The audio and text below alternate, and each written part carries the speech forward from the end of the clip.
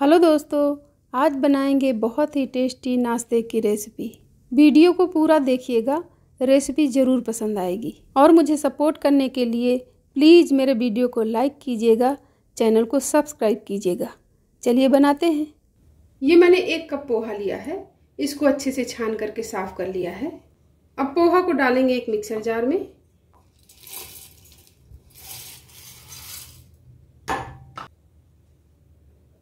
पोहा का पाउडर बना लेते हैं, पीस लेते हैं। अब ये पोहा पीस गया है, इसका पाउडर बन गया है। अब इसको डाल लेंगे एक बड़े बर्तन में। एक बॉल में डाल लेते हैं।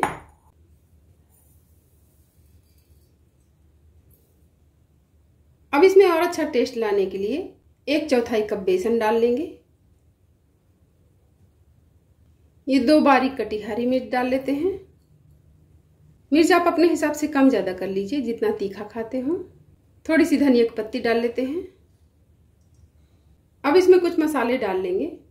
एक चौथाई चम्मच काली मिर्च पाउडर, थोड़ी सी लाल मिर्च पाउडर, एक चौथाई चम्मच चाट मसाला, एक चौथाई चम्मच नमक या फिर स्वाद के अनुसार, एक चम्मच के आसपास तेल डाल लेंगे।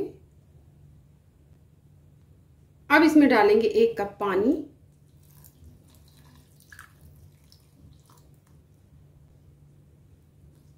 अब इसको अच्छे से मिक्स कर लेते हैं। अभी ये गीला दिख रहा है, लेकिन जब इसमें पोहा फूल जाएगा तो ये गाढ़ा हो जाएगा। अच्छे से मिक्स करेंगे। अब ये देखिए मिक्स करते करते ये गाढ़ा हो गया है। अभी ये और गाढ़ा हो जाएगा, क्योंकि पोहा अभी और फूलेगा। अब इसको पाँच मिनट के लिए रेस्ट के लिए रख देते हैं। उसके बाद देखते हैं। ढक देंगे। पाँच मिनट हो गए हैं। अब इसको देख लेते हैं। अब इसको हाथ से मिक्स करेंगे। ये देखिए, काफ़ी गाढ़ा हो गया है एकदम। डो के फॉर्म में आ गया है। अब हाथ में थोड़ा सा तेल लगा के इसको हटा लेते हैं।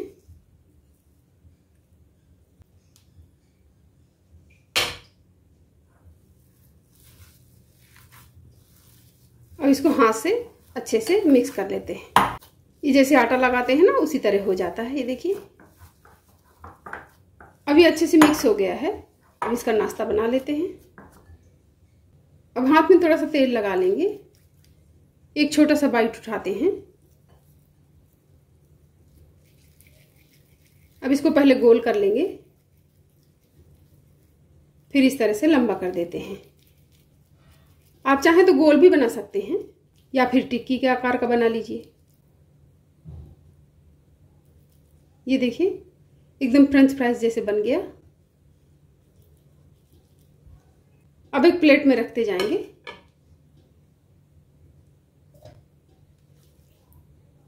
अब इसी तरह सारे बना के रख लेते हैं। ये सारा नाश्ता मैंने बना लिया है। अब चलते हैं गैस की तरफ़। अब पैन में मैंने तेल रख दिया है गर्म होने को। आप चाहें तो कढ़ाई में रख दीजिए। गैस को ऑन करके मीडियम फ्लेम में कर लेते हैं। तेल को गर्म होने देंगे। अब तेल गर्म हो गया है। अब नाश्ता को डालेंगे।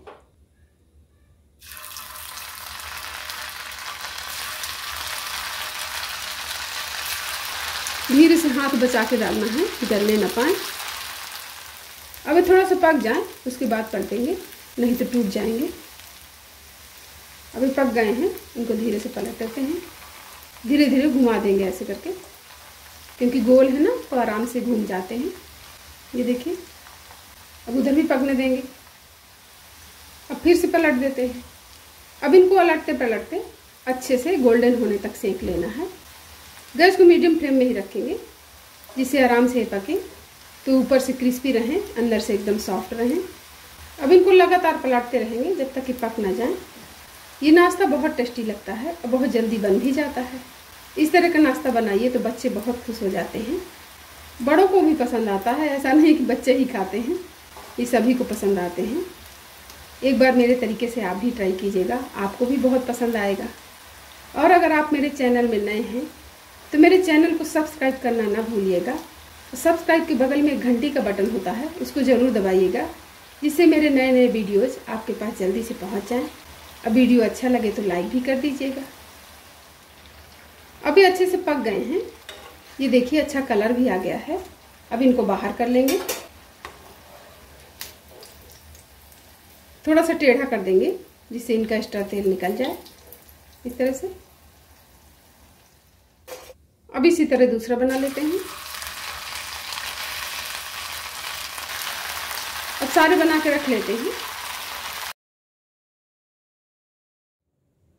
ये बहुत ही टेस्टी पोहे का नाश्ता बन के तैयार है। मेरे तरीके से आप भी ट्राई कीजिएगा, आपको भी बहुत पसंद आएगा। इसको आप टोमेटो सॉस, ग्रीन चटनी या फिर जो भी चटनी आपको पसंद हो, उसके साथ सर्व कीजिए।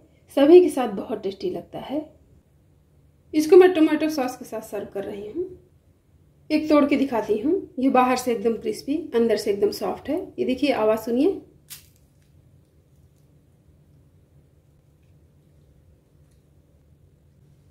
अब एक टेस्ट करके देखते हैं। हम्म बहुत टेस्टी है। मज़ा आ जाएगा। एक बार आप भी ट्राई कीजिएगा और मुझे कमेंट करके बताइएगा कि आपको नाश्ता कैसा लगा।